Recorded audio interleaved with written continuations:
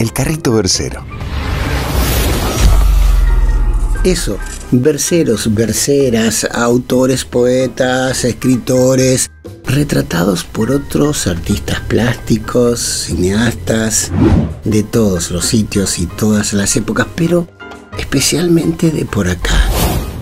Por eso la Municipalidad de Rosario presenta este carrito versero.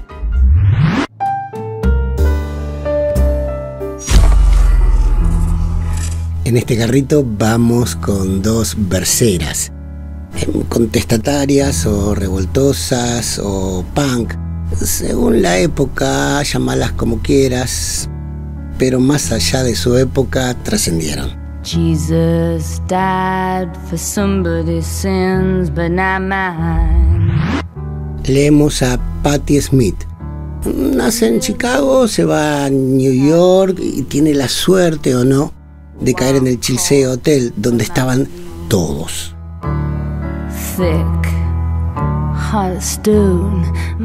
La conocemos como cantante o como rockera. En realidad, la madrina del punk.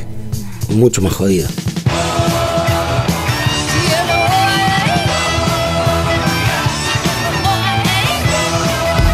Pero Patti Smith arranca escribiendo poesía.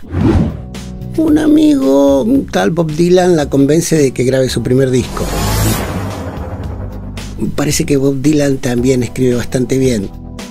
Al menos le dieron el premio Nobel de Literatura ganador del premio de literatura Bob Dylan, no fue a la ceremonia porque dijo tenía otros compromisos. Pero quien se llevó la noche en realidad fue la artista Patti Smith, quien se ha dedicado a la poesía y a la música, inspirada por la obra de Dylan.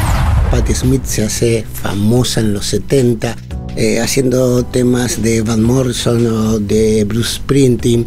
Y todavía hoy la podés encontrar en los escenarios con los más grosos.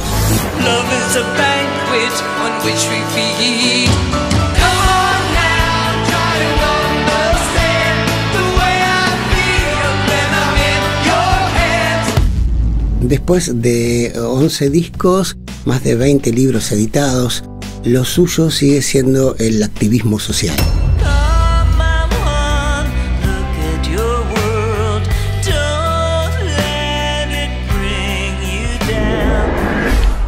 Activista de los 60 de Estados Unidos, por supuesto tenemos que ilustrarla con otra similar, un poco más del sur, no de Chicago a New York, sino de Cañada de Gómez a Rosario.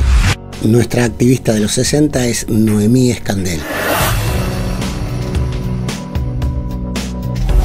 En esa época de convulsiones, de jóvenes idealistas en todo el mundo, de dictadura en Argentina, con onganía y tal. Escandel, con otros artistas de Buenos Aires y de Rosario, crean Tucumán Arde artistas que deciden realmente comprometerse, sacar el arte de los museos y de las galerías y llevarlo a la calle. Los artistas salimos de nuestro atelier, nos, fueron, nos fuimos no a aire pleno como hacían los impresionistas, nos fuimos al foco del problema. Si Patti Smith tuvo el Chiseo Hotel en New York, Scandel tuvo el Ditela y toda la vanguardia rosarina para llevar el arte a la calle se dedica a una serie de reproducciones que se imprimen y se reparten como volantes políticos.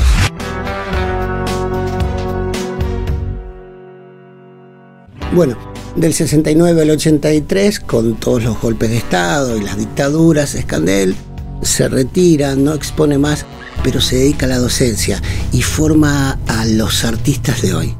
Por ejemplo, es la profesora de Vega, nuestro director artístico. Em, y bueno, básicamente es eso. Ah, ahora tenés director artístico. Dale, ¿querés? ¿Y estos dos que se creen que están en Hollywood?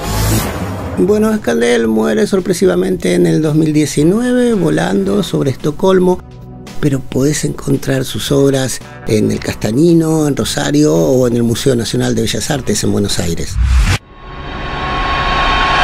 Bueno, vamos entonces con dos verseras de los 60. pero que siguen influenciando hoy y un rato más con sus ganas de un mundo más justo. Escribe Patti Smith. La ilustra Noemí Escandel.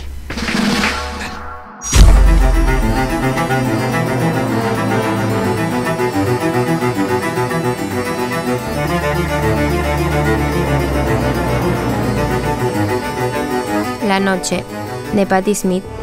De Patti Smith. El alma con la forma de un hombre joven, envuelto en un manto de leche. El corazón con la forma de su amante. Un chico amable con la piel azul. La noche con la forma de una mujer negra que desciende sobre los muchachos que duermen Y los convierte en sus esclavos. y los convierte en sus esclavos. El carrito versero. Expendio de letras. como si tuviéramos la boca llena de flores o de peces.